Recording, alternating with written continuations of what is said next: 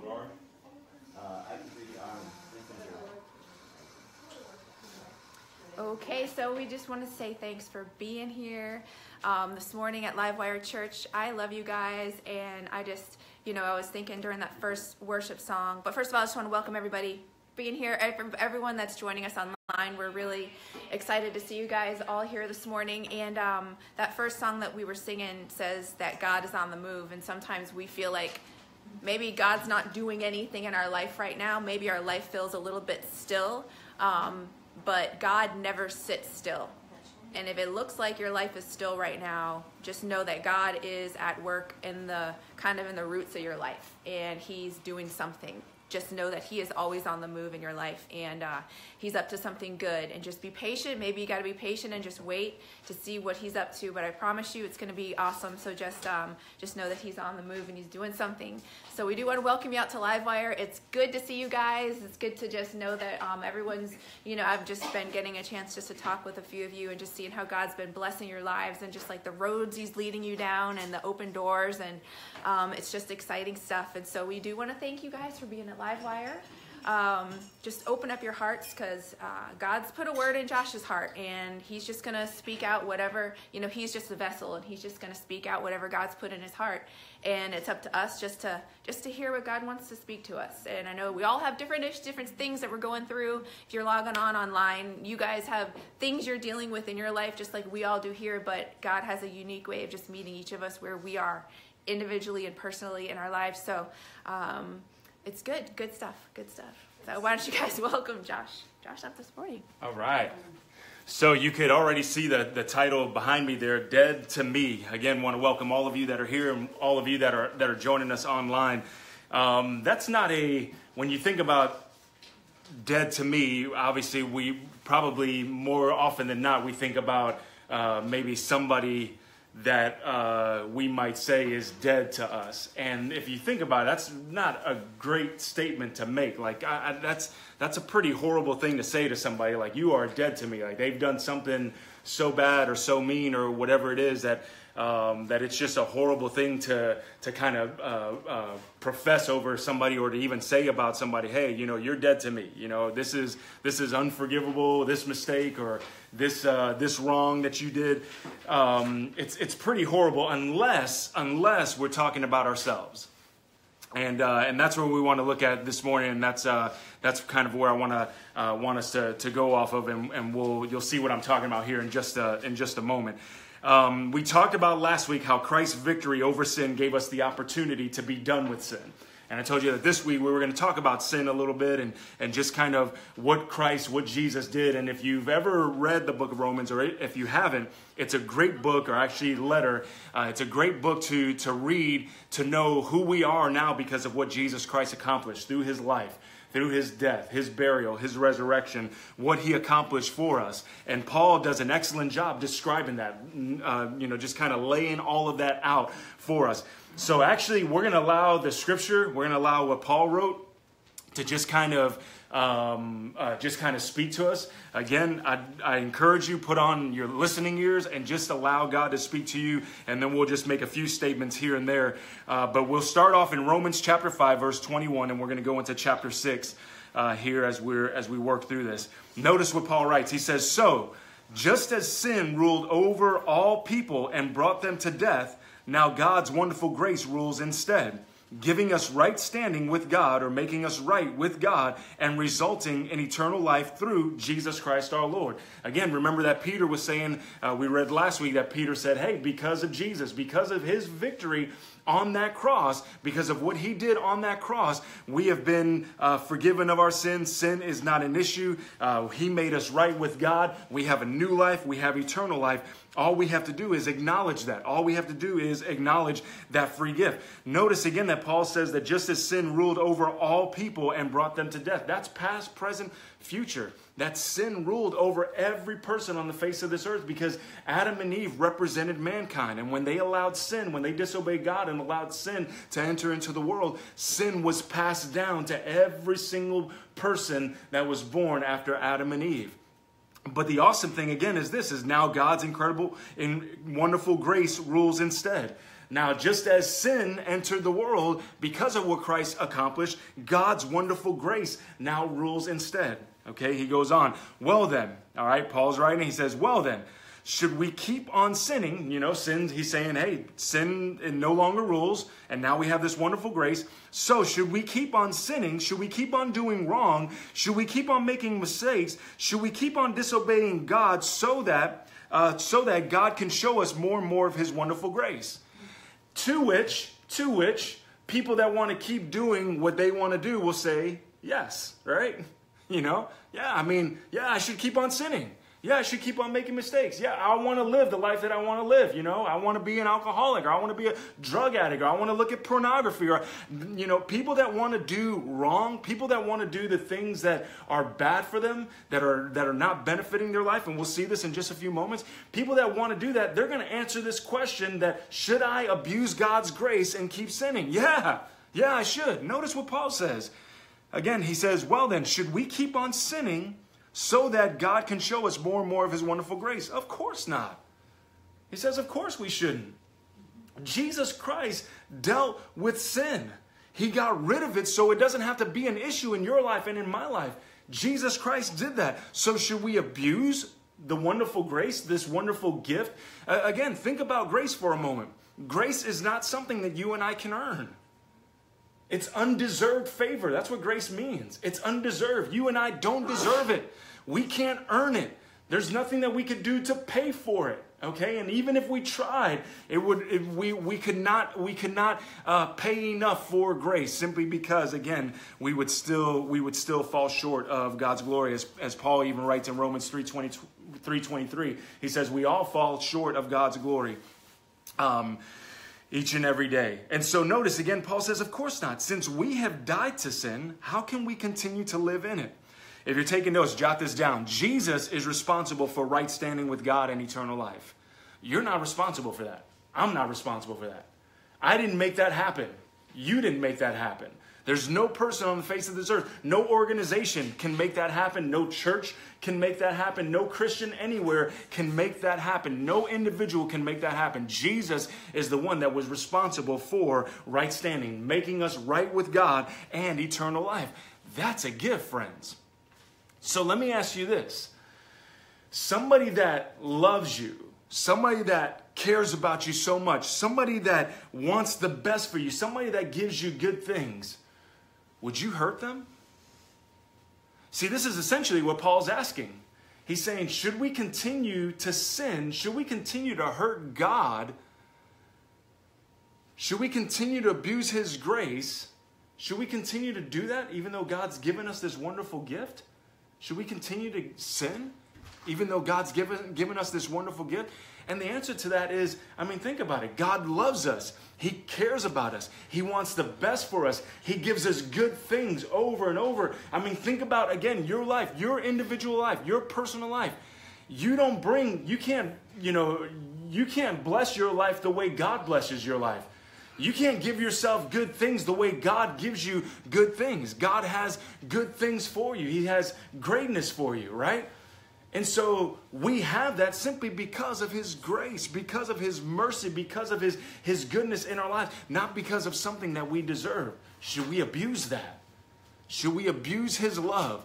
Should we abuse how much He cares about us? Should we abuse how much He, uh, how much he desires the best for us and, and the good that He brings into our lives? Should we abuse that? Because basically, that's what Paul's asking when he says, hey, should we keep on sinning so grace would abound? And that's why Paul just says emphatically, of course not. Of course we can't. He goes on, verse 6, Romans 6, verse 6. We know that our old sinful selves were crucified with Christ so, so that sin might lose its power in our lives. We are no longer slaves to sin. For when we died with Christ, we were set free from the power of sin. Again, if you're taking notes, sin lost its power in your life the day Jesus gave his life for humanity. That's when sin lost its power in your life. You and I, I mean, you go back over 2,000 2,000 years ago, that's when Christ lived. That's when he died on that cross and came back to life. You and I obviously weren't around at that time. But when Jesus Christ said it was finished, when he hung on that cross and he said, It is finished, sin was dealt with. It was paid for at that very moment. And, and, and sin's power over our life was destroyed that very moment, even though we weren't even born yet. And even people after us that would be, that would be born, you know, that sin, the power of sin in their life has been broken because of what Christ accomplished on the cross. Notice that Paul said, We know that our old sinful selves were crucified with Christ. Now, obviously, he's not talking about literally, you know, because I wasn't there on the cross. I don't know if you were. I don't think you were. None of us were there on that cross dying with Jesus. But what Paul's saying is spiritually, our sinful selves were crucified. When he was on that cross, Every single person was on that cross. Every, every man, every woman, every boy, every girl, past, present, future, was on that cross. Jesus represented, Jesus represented mankind. And what he did, he did for mankind. He died with and for our sin. He did it for mankind. He did it for each one of us. Christ died with and again for our sin and humanity, we died to sin. Verse 8. He said, And since we died with Christ, we know we also uh, will live with him. We, we know, excuse me, we know we will also live with him. We are sure of this because Christ was raised from the dead and he will never die again. So, there again, we have this hope. We have this hope that we will live even when we die simply because Jesus Christ walked out of that grave. So he says uh, again, but Christ was raised from the dead and he will never die again. Death no longer has any power over him. Remember we uh, remember what uh, uh Peter said, uh, what Peter wrote last week, where he said that Jesus took uh, took away the keys, or actually John wrote in Revelation that Jesus took away the keys, the power, the authority of death and the grave. All right, death no longer has any power over him. He took that, he stripped it, he took that power away from Satan. Verse ten, when he died, he died once to break the power of sin. But now that he lives, he lives for the glory of God. In other words, Jesus doesn't live for himself. He lives for the glory of God. Now notice because this is this is important. He says, "But now that he lives, he lives for the glory of God. So you also consider yourselves to be dead to the power of sin and alive to God through Jesus Christ." In other words, Paul's saying, notice notice Jesus. Jesus didn't live for himself. He didn't live for himself. He says, now that he lives, he lives for the glory of God. Or when he came back to life, he lives for the glory of God. And so Paul says, just as Jesus did that, just as Jesus is giving his life to God, so also let's do the same thing. He says, so you also consider yourselves to be dead to the power of sin. Why? The power of sin has been broken in your life. Friends, here's the thing we don't have to sin. We don't. We don't have to sin. Now, we will sin, but we don't have to sin. What do I mean by that? We will make mistakes, but we don't have to plan to make those mistakes. We don't have to plan to hurt people. We don't have to plan to cuss at people, you know, make people feel stupid and be rude to, to people and hurt people with our words or hurt people even physically. We don't have to plan to sin. We don't have to plan to do bad things or to, to do the wrong things, do things that don't benefit our life, do things that ultimately will bring death to our life. And again, we'll see this, uh, see this more in just a few moments. We don't have to plan to do that. Now, will we make mistakes? Yes. Every single one of us. Again, Paul said, we all fall short of the glory of God. In other words, that glory of God that he's speaking of is the perfection of God. It's all of God's perfection. We all fall short of God's perfection every single day. But the fact of the matter is, we don't have to plan to. That's the difference. See, there are a lot of people, and dare I say, there are a lot of Christians that are just like, oh, yeah, you know what, I'm a Christian, but they plan to sin. They plan, they plot, oh, you know what, I'm going to get this person back.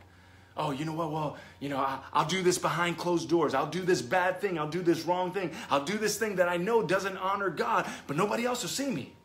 Well, guess what? God sees. God sees us.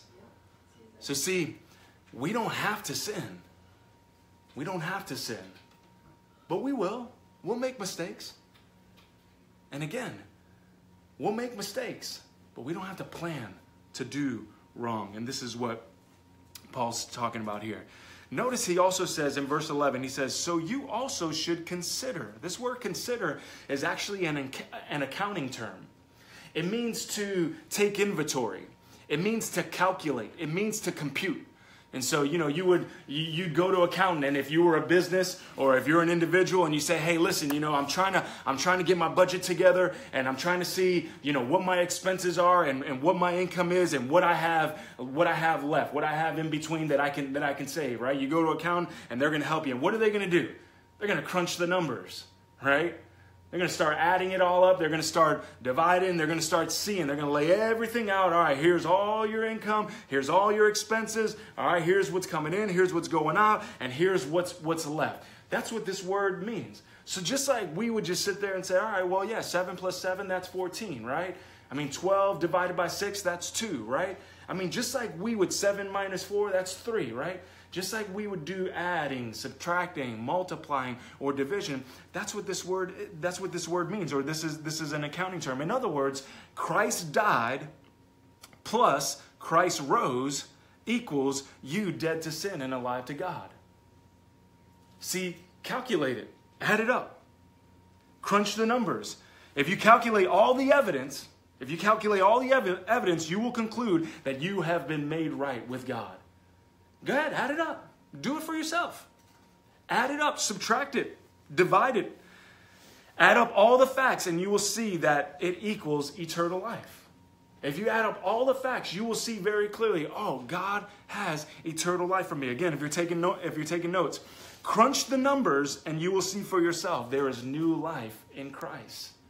There is new life for you and I in Christ. When you crunch the numbers, when you add it all up, when you calculate it, there is nothing bad at all when we give our lives to God. Nothing. There is nothing evil, there is nothing perverse, there is nothing wicked when we give our life to God. But when we give our life to sin, or when we go back to sin, sin equals death. Again, we'll see this in just a moment. Verse 12. He says, Don't let sin control the way you live, and do not give in to your sinful desires. So notice that it starts out with desires. James wrote about this. He says it starts out with desire. And if we don't do something with that desire, what happens? That desire begins to grow in us. It begins to become impregnated and gives birth to sin, James wrote. He said, Paul continues on, verse 13, do not let any part of your body become an instrument of evil to serve sin. So it's like, you know, some people will be like, oh, well, you know what? I mean, I mean, it's not like I'm doing this, you know, with every fiber of my, of my being. You know, I'm, my, my right arm is, is the only part of my body that's sinning. Well, Jesus said this if your right arm causes you to sin, chop that sucker off. Mm. If your left, arc, left eye, left, I was going to say ear, and I got ear and eye put together, R. Uh, if your left ear causes you to sin, chop it off. What was Jesus saying? He wasn't speaking literally. He wasn't saying literally, hey, chop it off. He was simply saying, hey, no matter what, no matter what you use to sin, if I use my right arm, guess what? It affects my whole body. If I use my mind to sin, it affects my whole body. I use my words to sin, it affects my whole body. If I use my right foot, my right leg to sin, it affects my whole body. It's like a virus. And it's like, you know, maybe some movies that, that, that we've watched where, you know, the guy gets infected or the girl gets infected in the hand and it starts to spread. You know, the, whatever that color of that virus just starts to spread throughout the body. And it's the same with sin. No matter where it starts, no matter what instrument we use in our body, it begins to spread throughout our body.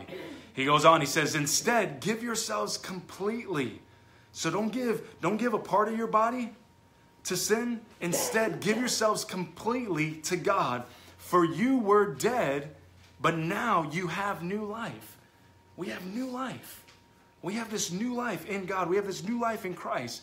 So use your whole body as an instrument to do what is right for the glory of God.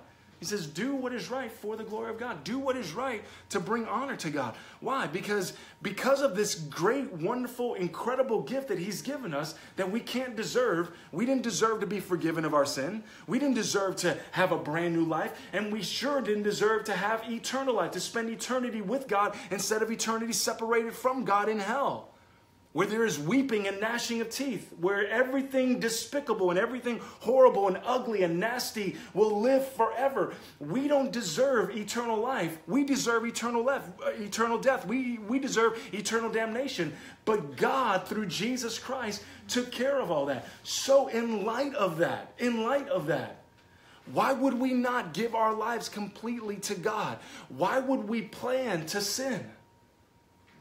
Why would we not give our lives completely to God? Why would we why would we want to hurt God? Why would we want to say, well, you know what, you know, God, I'm I'm just I'm going to do I'm going to do a little bit of this. I know, I know God, you gave me this wonderful gift and everything, but you know, and I know this is going to hurt you. Why? Why would we want to do that? And again, Paul says, uh, so use your whole body as an instrument to do what is right for the glory of God. Sin is no longer your master. And he was saying this earlier uh, as far as being slaves to sin. And he's using this analogy of slavery. And we know, even though none of us here have ever experienced slavery, we've read it in the history books, and there's still slavery that's going on around our world today. And it's despicable, is it not? I mean, come on. Slavery wherever it started, which actually, you know, you look at it, I mean, it was already in the Bible. It was already back in back in ancient times. Slavery was going on even then. You know, we think of slavery in, in, in other ways, but uh, slavery was already going on back then. And, and it's despicable, you know, the way people are uh, chained up like they're, like they're animals and, and the way people are beaten if they're not, if they don't do what the master wants them to do. And, and they only get uh, uh certain meals, only so many meals a day and a certain amount of food in, with each of those meals. And, and, you know, it's not like they're free to just go here and there. No, they're chained and they're locked up. And again, it's, it's despicable. It's horrible horrible. You go into your history books and you read about just the things that people were, uh, uh, they went through because they were in slavery. It's despicable. And, and this is exactly what Paul is getting at when he talks about sin. Sin is no longer your master. He says, For you no longer live under the requirements of the law. Instead, you live under the freedom of God's grace. There's freedom in Christ, not a freedom to sin, a freedom to bring glory to God, a freedom to say, hey, God, thank you for this incredible gift that you've given me. Now I'm going to live within the boundaries, the parameters of this freedom that you've, that you've freely given me because I know outside of those parameters is death. Only death awaits me out there. God, thank you that I could that I could roam freely in your freedom in your goodness, in your grace, in your mercy. I can roam freely in, in all this, in this new life that you've given me. God, I thank you that I could, I could roam freely through all of this. God, I thank you for this incredible gift. I thank you, God, for this freedom. He says, verse 15. Verse 15. Well, then, since God's grace has set us free from the law, does that mean we can go on sinning? Notice that. He's asking, he's asking the question again. All right? He says, Well, then, since God's grace has set us free from the law, does that mean we can go on sinning? And again, he says, Of course not. You know, we've got this wonderful grace, we got this wonderful gift. And he says, Well, you know, since we're not under law anymore, since we're not having to, you know, we have a bunch of rules. And again, we think of the Ten Commandments when there was over 600 actual commandments and we think, oh, you know, uh, you know 600 over 600 commandments. Since we don't have to obey all these, you know, 600 commandments, you know, should we continue to to sin? Paul says again, of course not. You know, since we've been free from the law, should we continue? To, no, of course not. He said, let's live in the freedom of this new life that God's given us, and let's enjoy this new life in Christ knowing that this is the absolute best that God has for us, that everything outside of those parameters, everything outside of those boundaries, everything that has to do with sin only leads to death. And we're coming, coming to that point in just a second. Verse 16. Don't you realize that you become the slave of whatever you choose to obey? Now, think about that. Because people that have been, been put into slavery, people that have been put into slavery, do you think that they chose to be put into slavery? Like people that say, oh, yeah, so let me get this right. You're going to mistreat me. You're only going to give me a certain amount of meals a day and a little bit of food with those meals. You're only going to give me a little bit to drink. Where I'm going to sleep, it's going to be it's going to be despicable. It's going to smell so bad. There's going to be my fellow men, fellow human beings, feces all over the place. So that's going to be my life if I become your slave? Sure, I'll do that. Right? None of us would do that. None of us would sign up for that. But again, notice what Paul says. He says, Don't you realize that you become the slave of whatever you choose to obey? We are actually choosing, if we're going to choose sin, we are actually choosing to live in deplorable conditions. I mean, think about that because that's actually what we're saying. Paul says, Hey, you know, whatever you choose, you know, whatever you choose to become a slave to, to, to obey, that's, you know, those are the conditions. And if we choose to live in sin, we're going to live in deplorable conditions. We're going to live in just, you know, just death and, and disgusting and, and just everything that, uh, everything that is, um, you know, just horrible and nasty. So he goes on. He says, you could be a slave to sin, which leads to death. There it is. He says, you could be a slave to sin, which leads to death, or you can choose to obey God, which leads to righteous living or leads to being again in right standing with God, made right with God, leads to eternal life. So we have a choice. See, we can make the choice to be a slave to sin and have a deplorable life, have a life that's just disgusting, nasty. We may not see it at first, but slowly and surely it's bringing death. Or we could have this new life, this life of blessing, this life of where God is actually looking at us and He's doing, uh, bringing things into our life that, that, is, that is the best for us, that is nothing but the best for us. I mean, which one? Because it kind of goes back to where God looked at the people of Israel, the children of Israel. He says, I'm going to put before you two options. You got life on one side and you got death on the other side. Here's another two options. God says, I'm, I'm going to put before you blessing on one side and cursing on the other side. He says, You got life and blessing on one side, and you've got cursing and death on the other side. And then he tells them, choose life. Choose life. Because there's no life in, in cursing and death. There's no life there. Choose blessing, choose life. That's what God has for every single one of us. That's what God has for not just Christians, God has that for all of humanity. Again, remember, Jesus hung on that cross. It is finished. He did it for all of humanity, not just people that loved God. He did it for all of humanity. So he goes on, he says, So you can be a slave, you can be a slave to sin, which leads to death, or you can choose to obey God, which leads to righteous living. Thank God.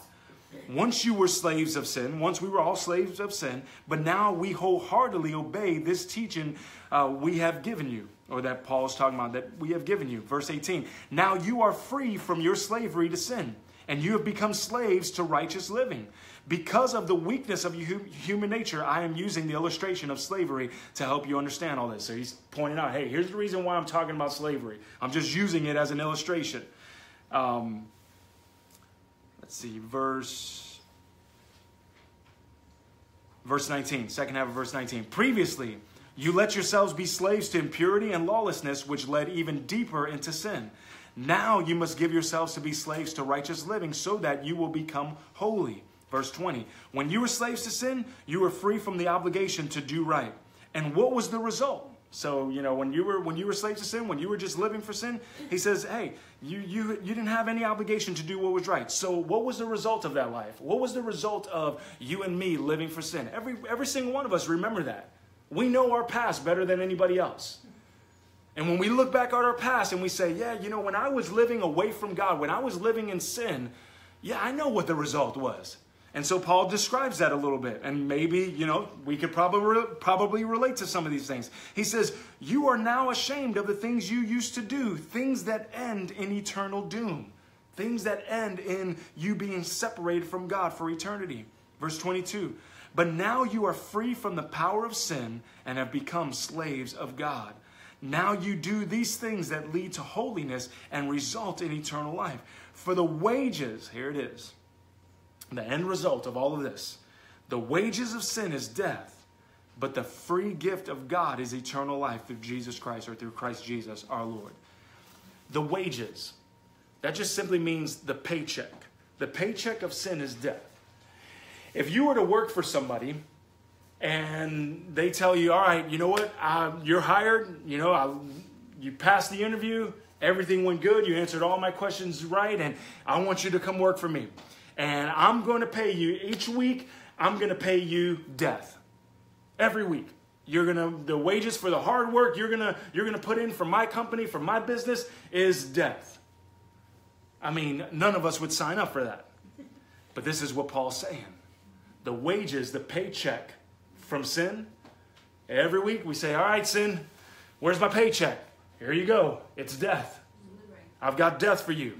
I've got death that is happening in your marriage relationship. I got death that's happening in your friendships. I got death that is happening in your relationship with your children. I got death that is happening, the, the, the payment, the wages, the, the paycheck. Your paycheck is, the, is, is death and it's happening in your career. It's happening in your body physically. It's happening in your body emotionally. It's happening, and more importantly, spiritually. Because that's all sin does. Sin just brings death. So Paul just very emphatically bringing the point home. He says, hey, if you want to be a slave to sin, the wages, the paycheck of sin is death. He said, but if you give yourselves to God, if you give yourself completely to God, then the free gift of God is eternal life through Christ Jesus our Lord. Now think about that. Because why would I work for sin to receive a paycheck of death every week when I can receive the free gift of eternal life. When I can receive the free gift of God's grace and mercy and loving kindness, His best for my life. Why would I work? Work. Actually put forth effort and labor and toil and blood and sweat and tears to receive a paycheck of death. Why would I work for that? I mean, if, if we're thinking logically, we wouldn't, right? But yet, so many people are doing that every single day. They're working for sin and not realizing or realizing that the paycheck that they're getting for it is death. Instead of just saying, instead of looking to God and God saying, hey, you don't have to work for me. I've got a free gift for you. All you have to do is acknowledge this gift that is free. All you have to do is acknowledge Jesus Christ as Savior and Lord of your life. And my gift is yours. All you got to do is it's a gift. It's wrapped up. Wrapped up in wrapping paper, it's got a bow on it. But think about it. Just like when we wake up Christmas morning or it's our birthday or anniversary, whatever it might be, somebody, that special someone that gives us that present, we can't enjoy that present until we what? Until we open it up. And that's what it means to receive this free gift. The gift is yours, it's mine. But we've got to open that gift up. So, again, if you're taking notes, you can work for sin and get paid death or receive eternal life for free. It's our choice. Sin once ruled over our lives, but Jesus died and rose so we can experience true life.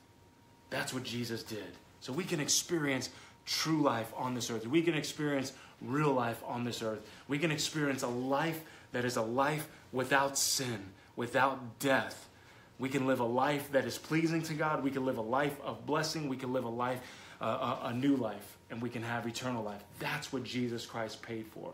And so that's why I say, you know what? It would be a horrible statement for me to make to my children or to my wife or to family members or to good friends to say, You're dead to me. And that's just horrible to say to somebody, no matter what they did. Unless, unless I say that to myself. Because, friends, it's our choice. But sin, in all reality, is dead to us. This flesh, our sinful selves, is dead to us. Jesus paid for it on the cross, He died for it on the cross. And so sin is dead to us, but it's our choice whether we want it to be dead to us. It's our choice whether we want to give our lives to sin or we're going to give our lives completely to God. Let's go ahead and close up in a word of prayer. God, I just thank you so much for your word. I thank you, God, for what you've shared with us today, Lord, and just even just even just allowing your word, just allowing the scripture just to speak to us about what Christ did for us on that cross, what it means to have our sins forgiven.